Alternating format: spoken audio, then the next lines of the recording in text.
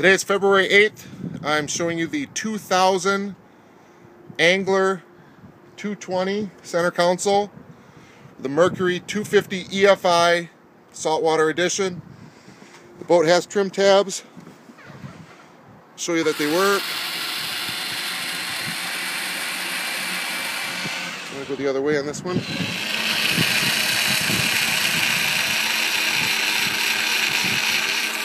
Swim ladders under there. Here's the bait well with a brand new pump last year. Different hatches. There's a water separator that I just put on the end of last season. I did put a new sending unit in the fuel tank last year. Has dual batteries, switch.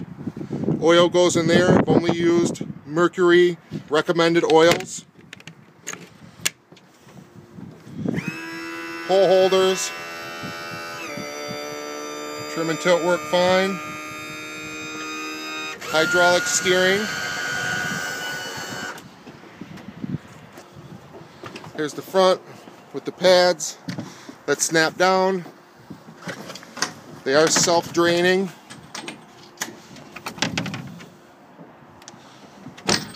This back here. Kids enjoy riding up there. You also have this center console seat. Comes up, great for storage. Freshwater washdown is here. All of the electronics work great just put a trans uh, when I installed this put a brand new transducer with it. Got all the manuals here in the helm.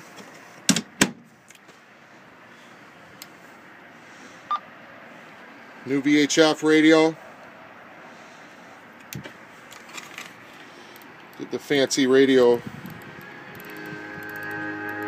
107 MUS and it's got all the MP3 hookups and all that.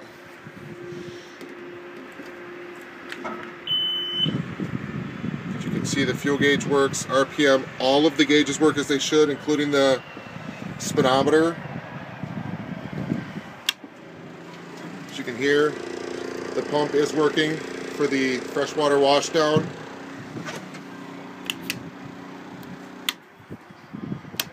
Bait well pump. Here is working down there.